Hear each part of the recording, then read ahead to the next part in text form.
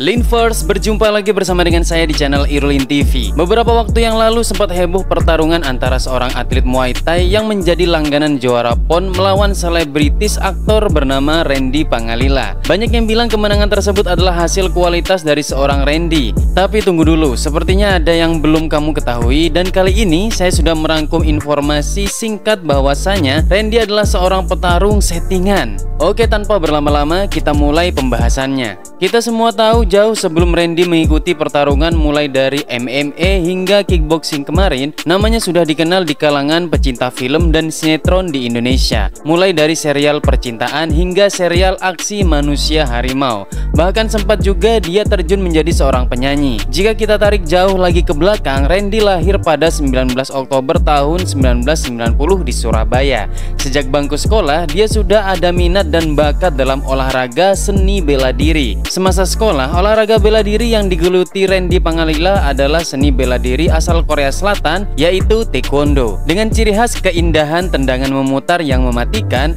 untuk orang-orang yang berkecimpung di dunia bela diri tersebut, khususnya Taekwondo di Jawa Timur, pasti sudah mengenal Randy Pangalila sebagai seorang petarung di cabang olahraga Taekwondo. Sebelum dia menjadi seorang aktor dalam industri film di Indonesia. Dengan ciri khas keindahan tendangan memutar yang mematikan. Untuk orang-orang yang berkecimpung di dunia bela diri tersebut terkhusus taekwondo di Jawa Timur pasti sudah mengenal Randy Pangalila sebagai seorang petarung di cabang olahraga taekwondo sebelum dia menjadi seorang aktor dalam industri hiburan. Tepatnya saat dia masih menjadi seorang siswa sampai dia lulus sekolah menengah atas sekitar tahun 2008-2009. Pada bela diri taekwondo dia tidak hanya ikut-ikutan atau sekedar terdaftar, melainkan untuk ukuran Jawa Timur Randy Pangalila sudah beberapa kali menjuarai kejuaraan taekwondo tersebut. Jadi tak heran jika di kediamannya masih ada sisa-sisa medali yang dia simpan sebagai kenangan. Dan untuk sabuk Randy Pangalila sudah memegang atau memiliki sabuk ban hitam taekwondo, merupakan warna terakhir dari sabuk yang ada di olahraga tersebut. Setelah lama berkecimpung di dunia hiburan, akhirnya Randy Pangalila mulai menggeluti Muay Thai pada tahun 2013. Minatnya terhadap seni bela diri ini berawal dari keinginannya untuk menjaga kebugaran tubuh dan menjalani gaya hidup sehat sebagai penunjang kerjaannya di dunia hiburan di Indonesia. Karena pada bela diri Muay Thai tidak hanya bertujuan menjaga kebugaran fisik seperti olahraga pada umumnya, tetapi juga untuk mengasah mental sebagai bekal menghadapi situasi yang tak terduga. Suhendro Saputra menjadi pelatih Randy di olahraga Muay Thai adalah seorang pelatih yang memiliki reputasi baik di Indonesia,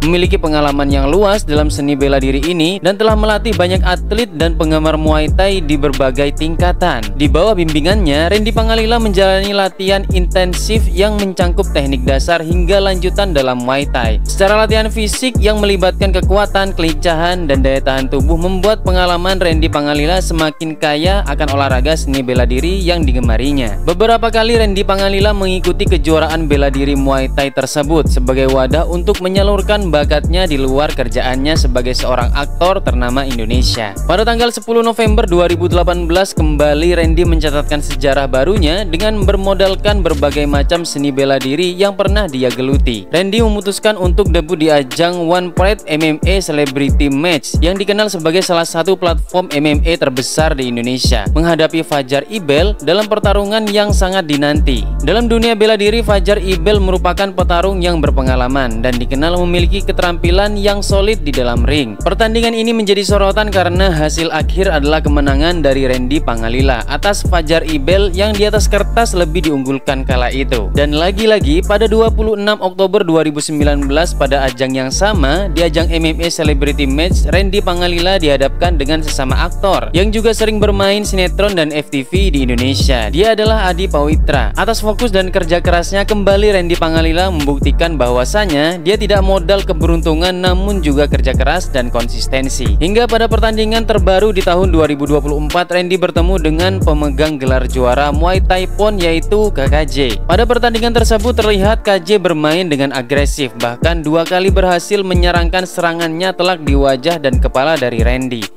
Banyak orang yang berpikir Randy akan kalah karena dianggap petarung sinetron hanya jago di layar kaca saja dan tidak akan bisa menang melawan petarung sesungguhnya. Atau yang sedari awal orang tahu KJ adalah seorang atlet bela diri. Namun setelah melihat pertandingan tersebut, semua anggapan itu terbantahkan guys. Dan kembali lagi Randy Pangelila atau Randy Pang berhasil kembali memenangkan pertarungan tersebut dengan dua kali serangan ke bagian liver dan kembali menyerang titik tersebut menggunakan satu tipuan tendangan di akhir dengan spinning back kick atau biasa disebut tendangan Dwi Chagi di taekwondo di titik yang sama dengan momentum saat KJ hendak maju untuk menyerang. Nah, dengan kemenangan ini kembali Randy membuktikan hasil latihan kerja kerasnya selama ini tidak sia-sia.